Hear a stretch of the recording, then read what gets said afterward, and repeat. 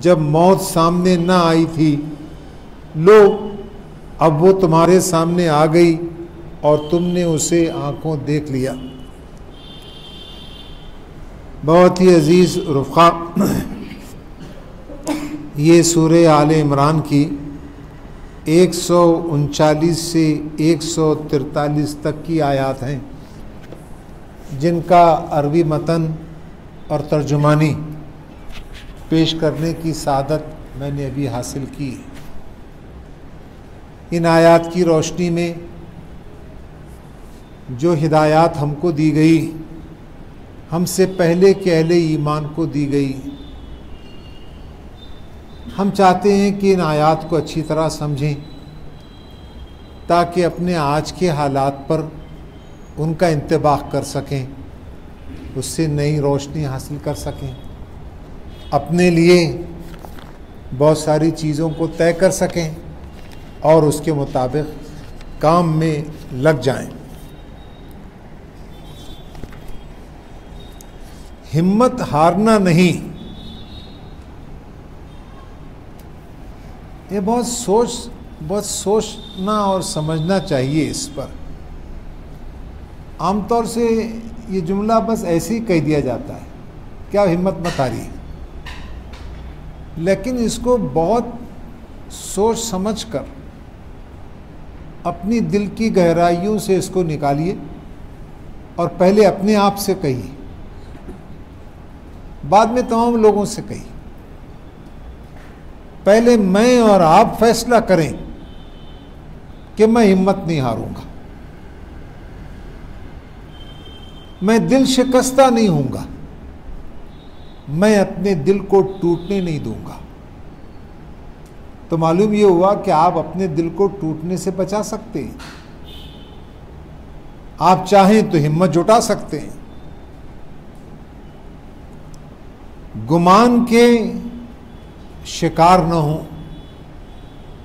بدگمانیوں کا شکار۔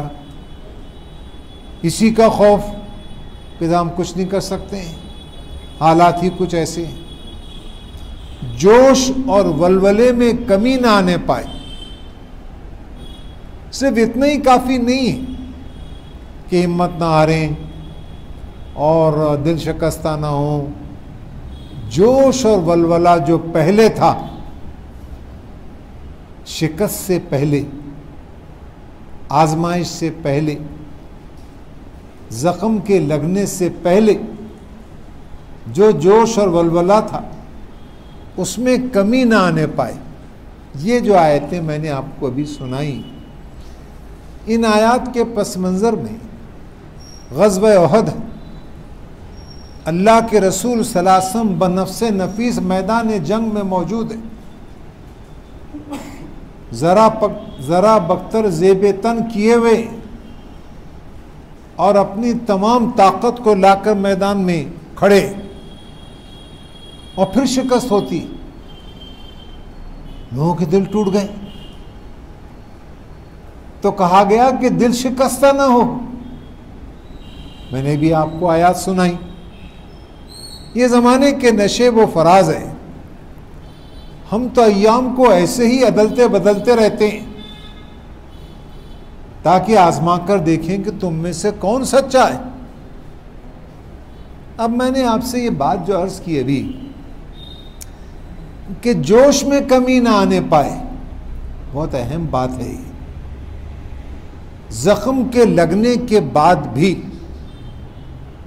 رشتے ہوئے زخموں کے ساتھ مسکراتا ہوا کوئی اٹھ کھڑا ہو اور پھر سے کام میں لگ جائے۔ یہ ہم سے، اس کی ہم سے، اس کا ہم سے مطالبہ ہے۔ کوئی معمولی بات نہیں۔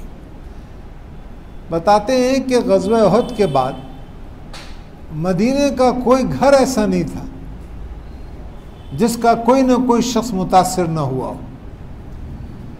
چھوٹی سی انسانوں کی آبادی تھی۔ بہت بڑی آفت وہاں پر ٹوٹ پڑی تھی۔ ساٹھ صحابہ تقریباً وہاں وہاں میدان جنگ میں گرے۔ ان کی قبریں آج بھی بنی ہوئی ہیں۔ بہت پکار پکار کر وہ قبریں۔ ہم کو بہت اہم میسیج دیتی بہت اہم میسیج دیتی آپ جب اس قبرستان پر جائیں اور وہاں کے گیٹ کو تھام لیں تو آپ پچھلے قدموں دوڑتے ہوئے آپ اس وقت میں چلے جائیں گے جب صحابہ وہیں میدان میں گرے تھے اور اللہ کے رسول صلی اللہ علیہ وسلم نے اپنے عزیز ترین ساتھیوں کو ان کے جسم کے ٹکڑوں کو جمع کر کر کے قبر میں اتارا تھا۔ ٹھیک۔ آپ اچھی طرح واقف ہیں۔ مزید پڑھتے رہیے۔ اسے اس تاریخ کو بار بار پڑھتے رہنا چاہیے۔ بتاتے ہیں کہ جب آپ وہاں سے اترے، بہت پہاڑ کے غار سے جب اترے، تو ابو سفیان چیلنج کر کے چلا گیا تھا۔ اے محمد، ہم انتقام لے چکے ہیں بدر کا۔ اب آئندہ سال بدر میں تمہارا ہمارا پھر مقابلہ ہوگا۔ اس حالت میں بھی رسول اللہ صلی اللہ علیہ وسلم نے فرمایا کہ ہم کو منظور ہے۔ یہ چیلنج ہم کو منظور ہے۔ اور وہ وہاں سے واپس ہو گیا۔ اللہ کے رسول صلی اللہ علیہ وسلم نے اسی وقت اس کو ایک طرح سے آپ نے بہت غیر معمولی ذہانت کا پیکر تھے آپ۔ آپ سمجھ گئے کہ ابو سفیان بہت بڑی بھاری غلطی کر چکا ہے۔ بجائے مدینے کی طرف جانے کے، اس نے اپنا رخ مکے کی طرف کر لیا۔ وہ چاہتا تو مدینے کی طرف جا سکتا تھا اور بہت بڑی تباہی مچا سکتی تھی پوری فوج۔ لیکن آپ دیکھیے کہ اللہ تعالیٰ نے کیسے ان کے دل و دماغ معاف کر دیے۔ ان کے ہاتھوں کو اٹھنے سے بچا لیا، بہرحال۔ آپ کو یہ خیال ہوا کہ یہ کچھ دیر کے بعد جا کر ان کو خیال آئے گا کہ ہم سے کیا بھاری غلطی ہوئی۔ آپ نے اس کا تدارک کیسے فرمایا؟ آپ پھر سے جا کر بیٹھ نہیں گئے مسجد نبوی میں کہ اجتماعی طور پر اس پر جو ہے غم منائیں گے۔ بلکہ آپ نے منادی کرنے والے نے بھی خوب پکار کر کہا۔ ارے عرب تھے اہل زبان تھے وہ۔ انہوں نے کہا، ارکبو یا خیل اللہ۔ ارکبو یا خیل اللہ۔ اے اللہ کے سواروں، دوبارہ گھوڑوں پر سوار ہو جاؤ۔ تو صرف وہ لوگ نہیں آئے جو بالکل نہیں اٹھ سکتے تھے۔ ورنہ آپ سوچئے کہ زخم لگنے کے بعد جسم پورا بخار میں تپتا ہے۔ ہر چیز دکھتی ہے۔ لوگ کہہ سکتے تھے کہ بھئی ابھی ذرا ہم آئے ہیں، ابھی اپنے باپ کا، بھائی کا ماتم، ابھی ہمارے آنسو بھی خشک نہیں ہوئے ہیں۔ اور آپ کہہ رہے ہیں کہ دوبارہ سوار ہو جاؤ ان کا پیچھا کرنا۔ صحابہ پھر سے کھڑے ہو گئے۔ یہ مطلوب ہے، میں جو آپ سے بات عرض کر رہا ہوں کہ زخم لگنے کے بعد، ناکامی کے بعد، جوش اور جذبے میں کمی نہ آنے پائے۔ بلکہ اور مزید جوش اور جذبے کے ساتھ کام میں لگ جائیں۔ ہم کو ہماری تاریخ یہی درس دیتی ہے۔ صحابہ دوبارہ سوار ہو گئے۔ اب پکنک پہ نہیں جا رہے تھے، بلکہ ایک فاتح فوج کے تعاقب میں تھے۔ کوئی معمولی بات نہیں ہے۔ فاتح فوج کے تعقب میں تھے صحابہ۔ اب جیسی ابو سفیان کو معلوم ہوا کہ محمد اپنے ساتھیوں کے ساتھ آ رہے ہیں تو سیدھا بھاگ گیا ہو۔ مکے کی طرف۔ یہ نہیں ہوا کہ آپ بھی بھاگتے ہوئے مکہ پہنچ گئے، بلکہ آپ اس مقام پر پہنچے۔ دیکھیے، بہت اسٹریٹجک پوائنٹس ہیں۔ پھر وہاں روکے آپ، واپس تشریف لے آئے۔ آپ نے اس وقت کے لیے اتنا ہی غنیمت جانا، یہی کافی ہے۔ بہت حیران کن اللہ کے رسول صلی اللہ علیہ وسلم کا اسوا ہے۔ اس میں کہیں کوئی پشبردگی نہیں ہے۔ کہیں کوئی حوصلہ ہارنے کی بات نہیں ہے ہے نہیں؟ آپ پوری تاریخ پڑھ لیجیے۔ یہ دنیا دار الاسباب ہے رفقہ محترم۔ بہت میں شکست اس لیے ہوئی کہ صحابہ اس مقام سے ہٹ چکے تھے۔ آپ جانتے ہیں، اس پورے پس منظر سے آپ واقف ہیں۔ اتنا وقت نہیں ہے کہ اس کو پورے پوائنٹس کو آپ کے سامنے لایا جائے۔ جب ابتدا میں مسلمانوں کو فتح مل رہی تھی اور لوگ مال غنیمت کو لوٹنے میں لگ گئے تھے، قریش کا لشکر بھاگ رہا تھا۔ تو وہاں جو درے پہ جو لوگ کھڑے تھے، انہوں نے کہا کہ حالت جنگ کے لیے ہم کو رکھا گیا تھا۔ اب حالت جنگ کہاں ہے؟ اب تو فتح ہو رہی ہم کو بھی مال غنیمت لوٹنے میں لگ جانا ہے۔ حالانکہ ان کے ان کے جو لیڈر تھے، وہ ان سے کہتے رہے کہ نہیں، یہاں سے مت ہٹو۔ لیکن لوگوں نے نہیں سنا ان کی بات۔ اب جو خالد ابن ولید اب تک کے کافروں کے لشکر میں تھے، انہوں نے پیچھے سے دیکھا۔ انہوں نے کہا کہ وہ جو اہم جگہ تھی، جس کے تعلق سے حضور نے فرمایا تھا کہ تم اگر دیکھو کہ چیل اور کوے ہماری بوٹیاں نوچ نوچ کے کھا رہے تب بھی تم اس درے سے نیچے نہیں اترنا۔ یہ جملہ ہے۔ آپ علامہ شبری نعمانی کی سیرت النبی جل اول میں دیکھ سکتے ہیں۔ اسے انہوں نے کہا حالت جنگ کے لیے تھا ہی۔ اب تو ہم جی جنگ جیت چکے ہیں۔ بہرحال کچھ صحابہ وہاں رک گئے، باقی نیچے اتر کے آ گئے خالد ابن ولید نے جیسے یہ دیکھا، تو تقریباً آٹھ میل کا چکر کاٹتے ہوئے پیچھے سے آئے اور اپنے ساتھ جو ان کا گھوڑ سوار کو ان کا دستہ تھا، پیچھے سے حملہ کیا۔ تو وہاں کوئی روکنے والا نہیں تھا۔ اب پیچھے سے جب درے سے یہ اترے حید خالد کا خالد بن ولید کا لشکر۔ تو بھاگتے ہوئے قریش پیچھے سے پلٹ گئے۔ اب مسلمانوں کا جو لشکر تھا وہ دونوں کے بیچ میں آ گیا اور وہ واقعہ، وہ جنگ، وہ وہ وہ شکست، بہت کی شکست آپ کو معلوم ہے۔ میں آپ سے یس کر رہا تھا، یہ دنیا دار الاسباب ہے۔ آپ غلطی کریں گے؟ تو ایسا نہیں ہوا کہ فرشتے آ کے اس کو امیجیٹلی ریکٹیفائی کر دیں گے۔ کمزوری دکھائیں گے تو اس کا خمیازہ بھگتنا پڑے گا۔ زہر کھا کے بیٹھ جائیں گے تو وزن بڑھنا شروع نہیں ہوگا آپ کا، بلکہ زہر کا اثر ہوگا۔ یہ دنیا دار الاسباب ہے۔ تو گویا امت مسلمہ کو قیامت تک کے لیے یہ بات سکھائی گئی کہ تم کو بھی یہاں کی چیزوں سے فائدہ اٹھانا ہے۔ مسٹیکس نہیں کرنا ہے۔ بلنڈرس نہیں کرنا ہے۔ اگر کرو گے تو تم کو اس کا، اس کی قیمت دینی پڑے گی۔ ٹھیک۔ تربیت کے لیے ہے۔ جب مشکین سے کہا گیا کہ بھی دیکھو وہ ہمت نہیں ہار رہے ہیں، حالانکہ بدر کا زخم ان کو لگ چکا ہے۔ پھر بھی وہ ہمت ان کی جوان ہے۔ تو کہا گیا کہ تم کیسے ہمت ہار رہے ہو؟ حالانکہ جو زخم تم کو لگا ہے، اس سے پہلے زخم ان کو لگ چکا ہے۔ ان کی تو پوری قوت ٹوٹ گئی تھی وہاں، بدر کے میدان۔ میں بتاتے ہیں کہ بدر کے میدان کی شکست کے بعد لوگ روئے نہیں۔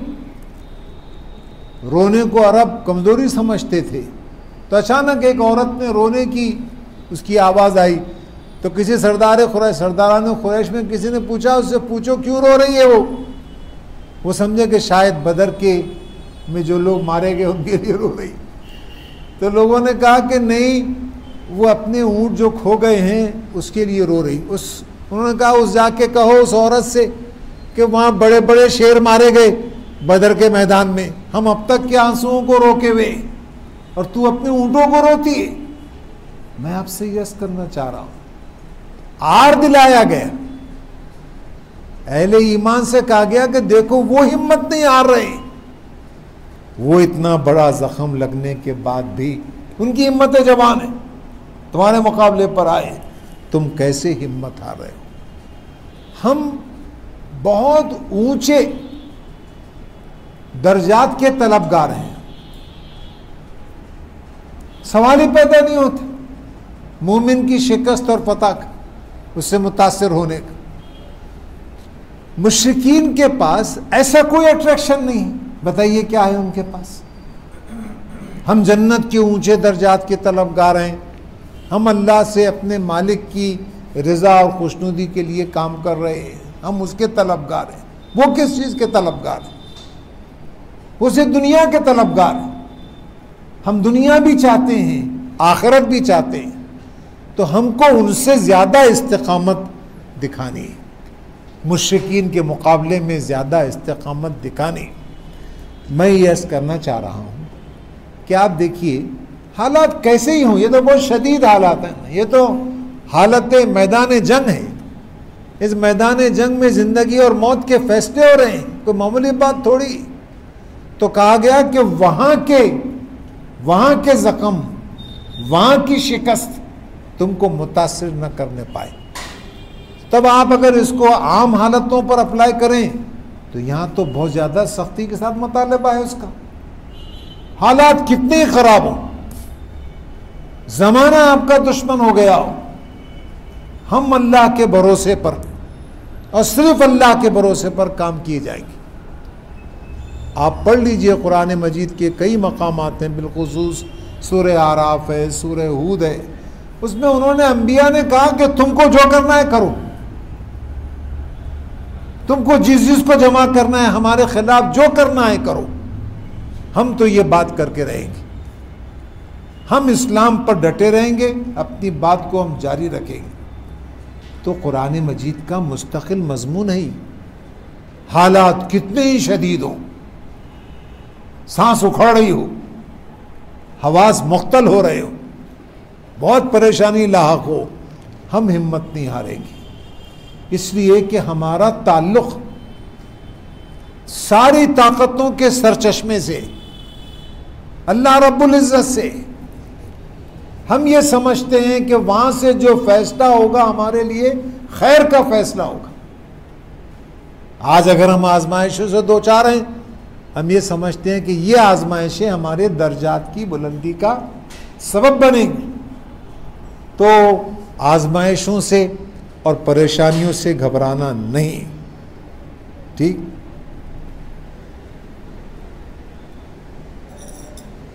اگر حالات اجازت دیں تو ہم کو زبردست تیاری کرنی چاہیے۔ دیکھیے، یہ مقصود نہیں ہے کہ آپ بغیر تیاری کے بیٹھے رہیں۔ صرف ذہنی طور پہ بہت تیار رہیں۔ اللہ کے رسول صلی اللہ علیہ وسلم جب میدان جنگ میں اترے، تو ایسا نہیں کہ آپ کھلے سینے کے ساتھ میدان میں اتر گئے۔ آپ نے خود سر پر اوڑی ذرا بختر آپ نے باندھا، صحابہ کی صفوں کو متعین کیا۔ جو ہتھیار آپ کے پاس تھے، وہ آپ نے ہتھیار، آپ نے زیب تن کیے، صحابہ کو دیے۔ اس سے یہ بات ہم کو معلوم ہوئی کہ جتنا بس چلے ہم تیاری سے رہیں گے۔ ہم اس کی طرف سے غفلت نہیں برتیں گے۔ جتنا بس چلے۔ آپ اگر الفاروق میں علامہ شبل نعمانی کی مارکت الارا تصنیف سیدنا عمر رضی اللہ تعالیٰ عنہ کے تعلق سے پڑھیں، تو آپ کو وہاں پڑھنے کو ملے گا۔ حیران کن کہ شام اور عراق کے بارڈرز پر ایسی چھاونیاں مقرر تھیں۔ کہ جہاں ایک ہلکے اشارے پر تین ہزار سوار میدان جنگ میں کھڑے رہ سکتے تھے۔ تو یہ اس قرآنی ہدایت کے مطابق تھا کہ جہاں تک ہو سکے اپنے پاس تیار بندے رہنے والے گھوڑے اور قوت جمع رکھو تاکہ دشمنوں پر تمہارا روپ پڑ سکے۔ اب ظاہر ہے آج آپ گھوڑے تو ڈھونڈتے نہیں پھریں گے۔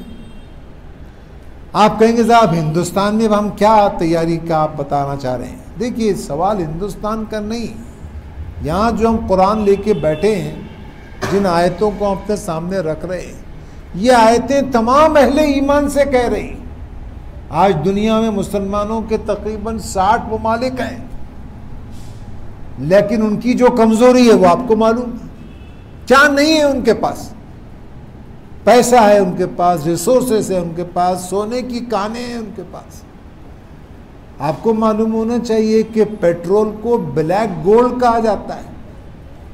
ان کے پاس نیچرل گیسز کے ذخائر ہیں جو دو دو سو سال تک گیس نکالتے رہیں گے، تب بھی وہ گیس سے کنویں خالی نہیں ہوں گے۔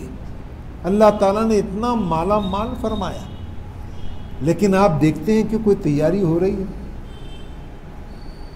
تو یہ جو ہم نے بالکل ایک ایسا امت مسلمہ نے عالمگیر لیول پر ایسا مزمحل ٹھٹرا ہوا، بجھا ہوا، بالکل شکست خوردہ، ہم ایک نہیں کر سکتے، ہم وہ نہیں کر سکتے۔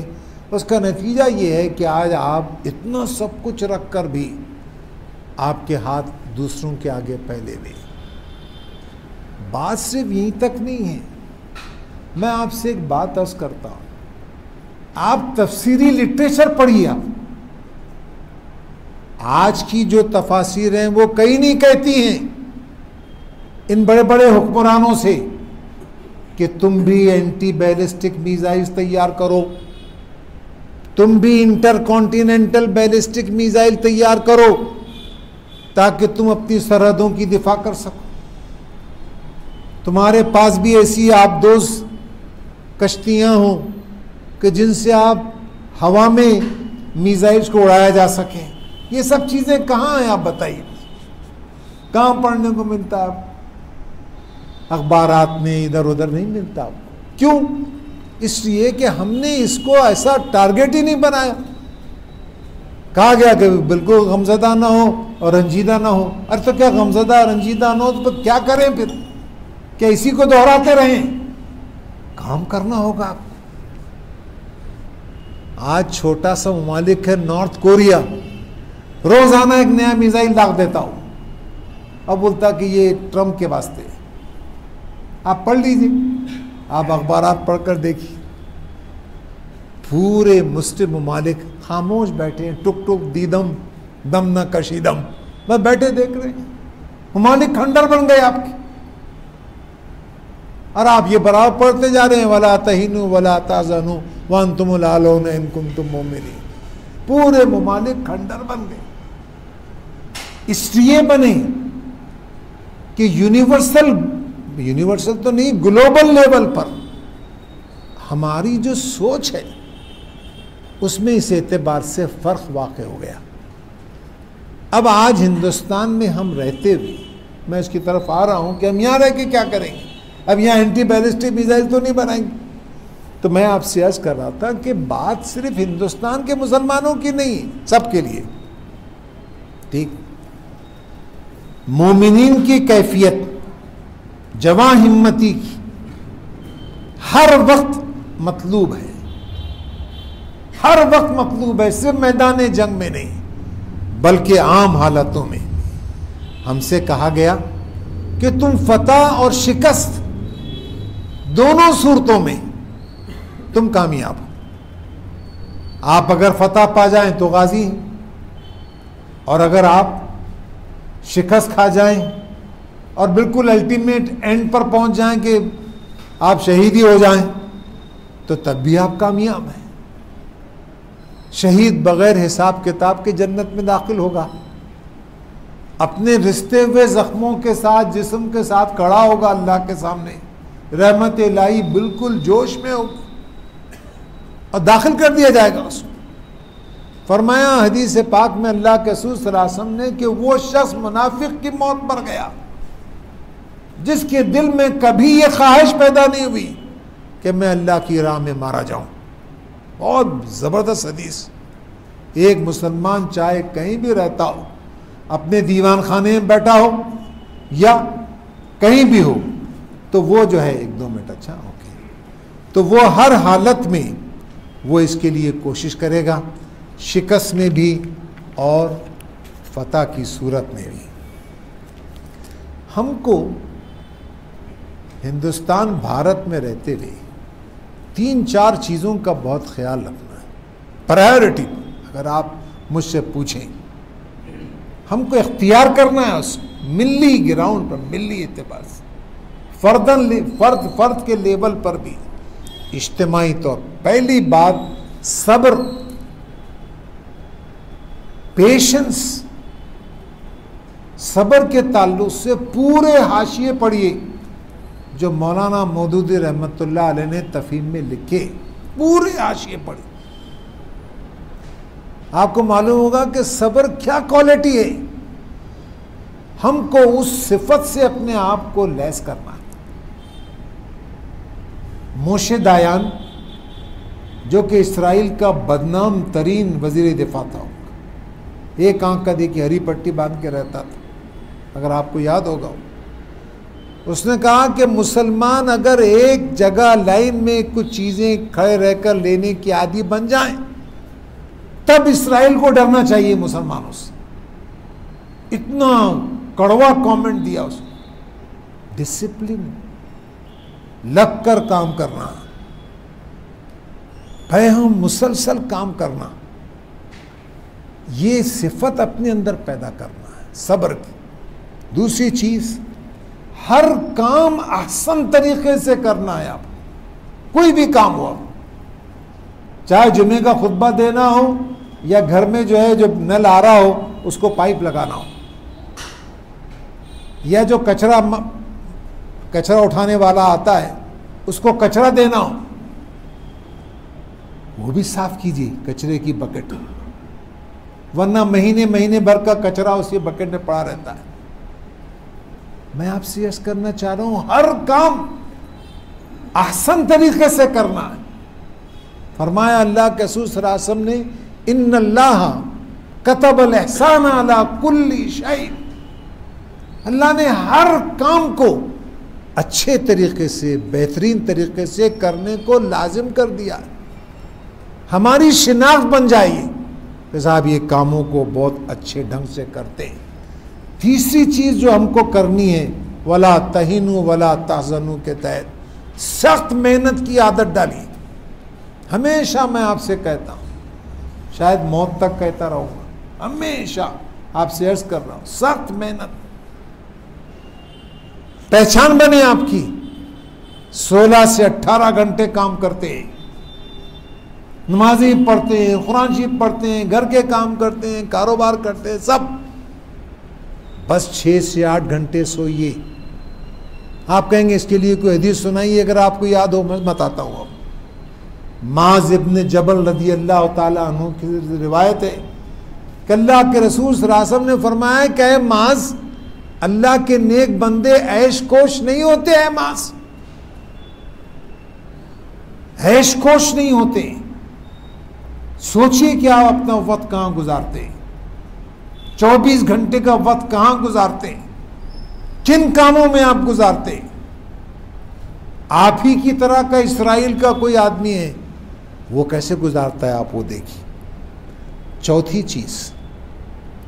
ہمارا ہر رفیق اپنے زیر دست افراد کی خوب تربیت کرے اپنی جنریشن کو اپنے سے اچھا بنائیے اپنے بیٹوں کو، اپنی بیٹیوں کو اپنے بھتیجوں کو بانجیوں کو، ہر ایک کو، جن پر آپ کا بس چل سکتا ہو، فوکس ہو جائیے۔ اور بنیادی طور پر اس کام میں لگ جائیے۔ دور جدید کے بہت تقاضے۔ آج باطل پرست طاقتیں آپ کو بالکل اپنے چنگل میں کسی بھی۔ آج جس طرح سے بے حیائی اور بے شرمی کا دور ہے، پہلے کبھی نہیں تھا۔ پہلے کہا جاتا تھا کہ گھر گھر تک یہ آفت پھیل گئی۔ اب گھر گھر تک نہیں ہے۔ اب فرد فرد تک یہ آفت پھیل گئی ہے۔ اور جس وقت چاہے وہ ہر دم اس کو دیکھ سکتا ہے۔ ان حالات میں مجھ کو اور آپ کو اپنی اسٹریٹجی بنانا ہوگی۔